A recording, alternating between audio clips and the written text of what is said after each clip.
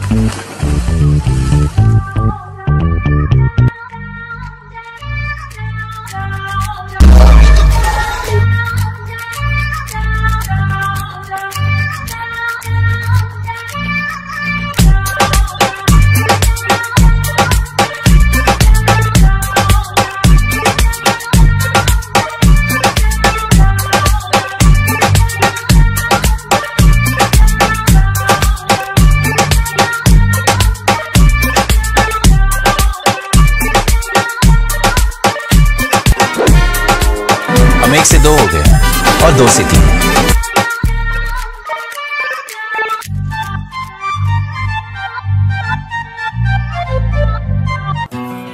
पता है तुझे आज यहाँ क्यों लाया?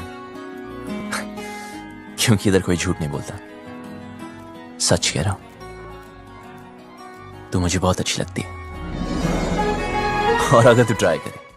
फ़िल्म में एक हीरो हो तो कमाल और अगर दो हीरो हो तो भाई जुड़वा।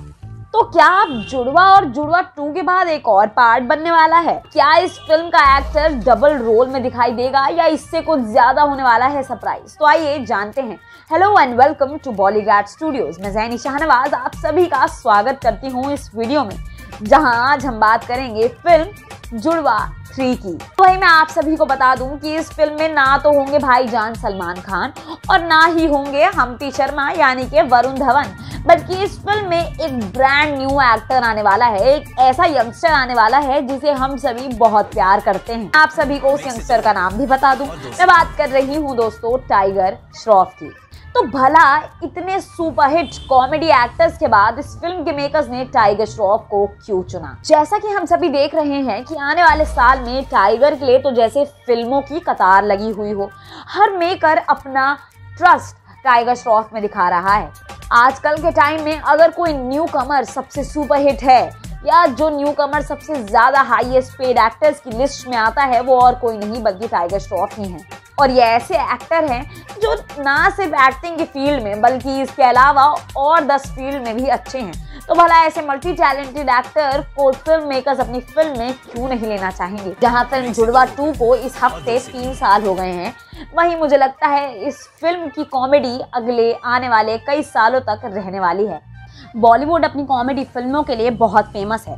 तो अब जैसे आप लोगों के दिमाग में एक सुपरहिट ब्लॉकबस्टर कॉमेडी फ़िल्म का नाम तो आ ही रहा होगा, हेरा फेरी। इस फ़िल्म को भला कौन भूला है? इस फ़िल्म की कॉमेडी से भला कौन नहीं हंसा?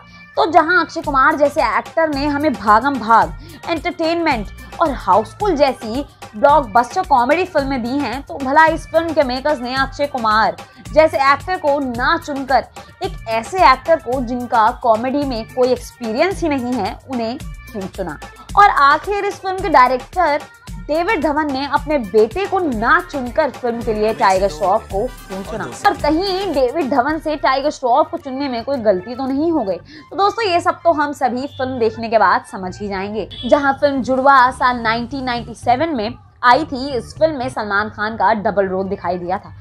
और जब इस फ़िल्म का सीक्वल साल 2017 में आया और इस फ़िल्म में वरुण धवन, जैकलिन फर्नांडिस और तापसी पन्नू की तिगड़ी दिखाई दी तो लोग इस फ़िल्म से हंस हंस कर तो जैसे अपने सास ही भूल गए। लोगों ने इस फ़िल्म को बहुत प्यार किया और इस फ़िल्म को आज भी कोई नहीं भूला है। जुड़वा वन का एक कैरेक्टर जुड़वा टू में वापस दिखाई दिया था और वो था अनुपम खेर का कैरेक्टर और इतना ही नहीं, जुड़वा टू में सलमान खान का कैमियो भी दिखाई दिया था। तो अब क्या जुड़वा थ्री में भी अनुपम खेर किसी और कैरेक्टर में नज़र आएँगे? और क्या जुड़वा थ्री में भी होगा सलमान खान का कैमियो और अगर ये फ़िल्म जुड़वा थ्री है तो क्या इसमें दो कैमियो देखने को मिल सकते हैं? क्या इसमें सलमान खान के साथ साथ वरुण धवन भी नज़र आ सकते हैं? हाल ही में अभी वरुण धवन की शादी हुई है। पूरे सोशल मीडिया पर वरुण धवन की शादी की पिक्चर्स तो जैसे वायरल हो चुकी हैं। तो अब वरुण की साल की शुरुआत तो बहुत खुशी से हो चुकी है। कई कॉमेडी फिल्म्स वापस आ रही हैं जैसे हेरा फेरी थ्री और नो एंट्री का सीक्वल नो एंट्री में एंट्री और वहीं गोलमाल फाइव तो क्या जुड़वा थ्री इन फ़िल्मों को टक्कर दे पाएगी? क्या जुड़वा थ्री अपनी एक अलग जगह बना पाएगी? ये देखने के लिए तो दोस्तों आपके साथ साथ हम भी बहुत बेताब हैं।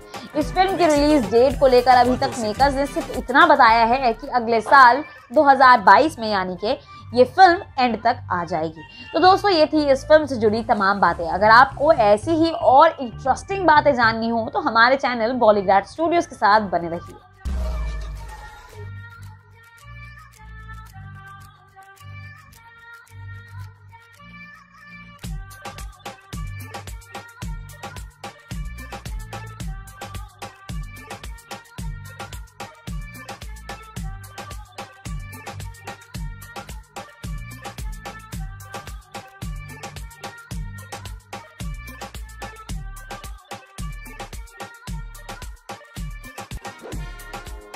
हम एक से दो हो गए और दो